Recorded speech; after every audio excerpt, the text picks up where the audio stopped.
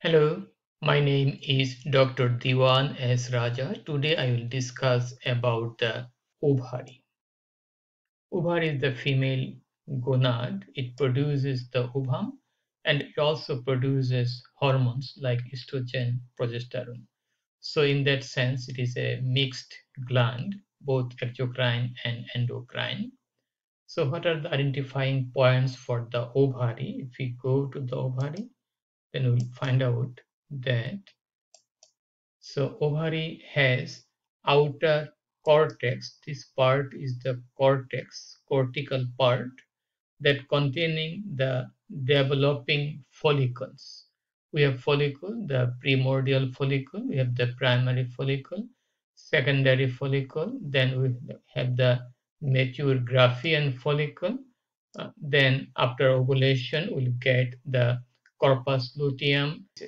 So to the identifying point, the cortex here, this is the medulla, this is the cortex, these are the developing follicle and the ovary is surrounded by the tunica albuginea that is a dense irregular connective tissue.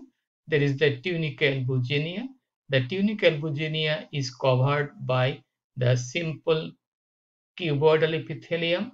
There is also called germinal epithelium, but it is a misnomer term. It is not relation. It is not in relationship to that of germination because our follicle is inside the tunica albuginea. So that is a modified epithelium, modified mesothelium that is cuboidal epithelium on the surface of the ovary. So again try the cuboidal epithelium or germinal epithelium, tunica albuginea, cortex containing the follicles in different stages of development, the corpus luteum, the product after ovulation.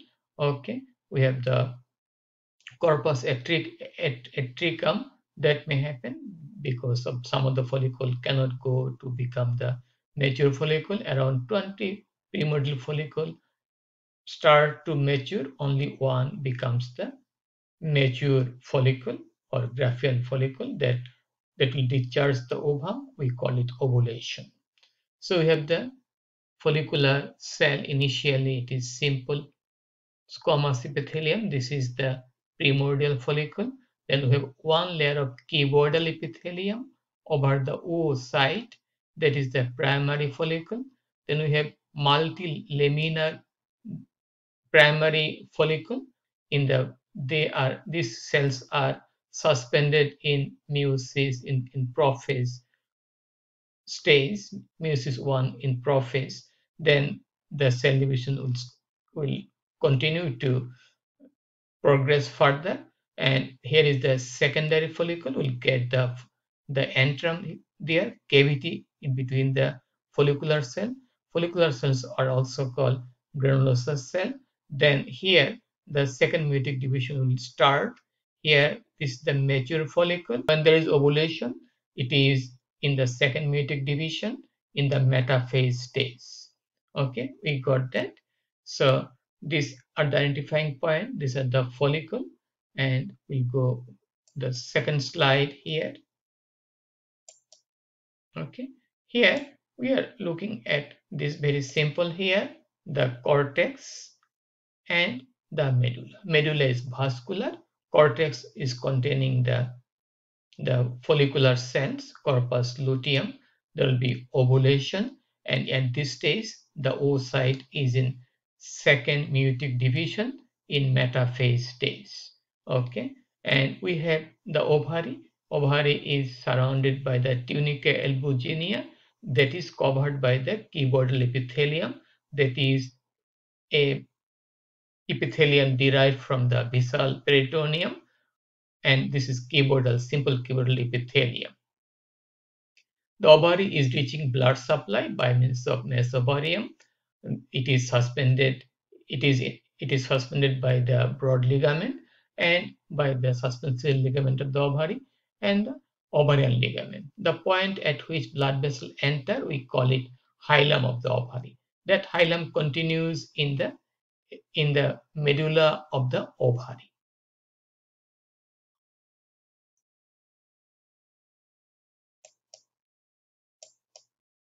Okay, so we are looking at the cortex of the ovary and the primordial uh, follicle here. These are the primordial follicle. The oocyte is surrounded by simple squamous epithelium. These are the primordial follicle.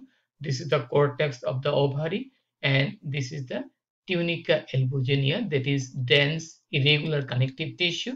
The tunica albuginea in the ovary is thinner than that of the testis and it is lined by simple cuboidal epithelium. These are the surface epithelium. These are also called misnomerly as germinal epithelium. Okay, we got that. Now we go to the next slide. Here is the secondary oocyte will develop. There will be formation of antrum, the cavity among the the granulosa cell, and there will be cavity. There are initially multiple cavity then all cavity will unite together in a mature follicle to become a big, to become a big, big cavity. This is called antrum. That is the cavity that is containing fluid that is rich in protein, uh, amino. It is rich in protein and the, the proteoglycans, and also it contains progesterone and estradiol, and also activin. Okay, so this are this fluid is rich in protein. This is a an a derivative of the plasma. Okay, so this is rich in in protein. So these are the stages of development of the ovary. If we look at that, here is the here is the oocyte primordial follicle. The oocyte is covered by simple squamous epithelium. Then we have primary follicle we have the simple cuboidal epithelium, we have multiple cuboidal epithelium, and we will have this is the secondary or antral follicle. We have multiple cavity, follicle layer will be also increased, but there is cavity formation, and this is the antrum that is rich in protein and also the aminoglycans and proteoglycans and the progesterone and the activin okay? Then we get the the mature follicle. This is the antrum one big cavity. And these cells are called corona radiata cell. And the some follicular cell connect the connect the the ovum to the to the to the to the theca internal cell okay these follicular cells are called the they are called the cumulus oophoros so cumulus oophoros cell will be here and the cell surrounding the oocyte which will be discharged along with the oocyte at ovulation are called corona radiata. So we'll get the cumulus oophoros here. The cell surrounding it that will be discharged along with the oocyte at ovulation is called corona radiata. Okay, so if we go here here if we go this is a picture of the ovary okay this is an arrow marking showing the stages of development of the follicles. We have the primordial follicle early primary follicle late primary follicle with multi layers of epithelial cell around the oocyte.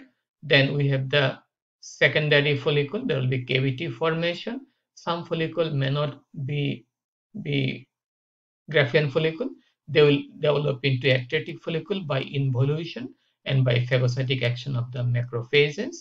So there will be big cavity formation and here is the mature Graafian follicle. And this here the follicular cell around the oocyte is called the corona radiata follicular cell connecting the oocyte to the to the to the ovarian follicle here we have the theca internal cell we have the theca external cell. Here, these cells, follicular cells, are called cumulus oophoros. Then there will be discharge of the ovum along with the corona radiata cell. The cell remaining here will be converted into corpus luteum cell by the action of the of the luteinizing hormone. Initially, there may be some bleeding here. We call it corpus hemorrhagicum. Okay, bleeding due to to the discharge of the oocyte, there will be some type of folding of the remaining follicular cell, the cumulus oophoros cell, and the theca interna cell. So that will that will lead to some bleeding that is called corpus hemorrhagicum. Okay, then there will be conversion of this follicular cell into the corpus luteal cell by the action of the corpus, by the action of the luteinizing hormone. This follicle is surrounded by the theca external cell, theca internal cell. Theca internal cell produces the the the theca internal cell will produce the estrogen and the corpus luteal cell will produce the progesterone. So if there is no fertilization, then this corpus luteum will be atretic and it will develop into corpus albicans. It will be degenerated. This cell will be degenerated. Okay, we got that. Now we go to here. Clinical correlation is very important to us. One of the common condition is called polycystic ovarian disease, also called Stein-Leventhal syndrome. What happened? There will be no ovulation, there will be hirsutism, and and there will be infertility. Usually in obese uh, young women may have this problem. What is the exact cause? You don't know, but maybe due to the thick tunica albuginea, so that the the follicle cannot be continue to form the Graafian follicle and if it is it is it goes to form the Graafian follicle it may not be discharged so no ovulation will take place and that is called polycystic ovarian disease. We have another clinical problem that may arise that is the ovarian cancer. There is a devastating condition. There is different pathology than that of that this is separate entity and it is one of the leading cause of death in female due to ovarian cancer. Okay, so what are the highlights of today's lecture class? Identification, we have cortex, medulla. We have tunica albuginea and we have the, in the cortex, we have the follicle, primordial follicle, the primary follicle, secondary follicle or antral follicle. We have the mature Graafian follicle, we have ovulation, at ovulation, what happened? At ovulation, the ovum comes out in second meiotic division in metaphase. If it is fertilized by a sperm, then the second meiotic division will be completed. Otherwise, it will not be completed. In the primordial follicle, cells are in the meiosis in prophase. Okay, cortex containing the the the follicle. Medulla is vascular Tunica albuginea is thin but dense irregular connective tissue.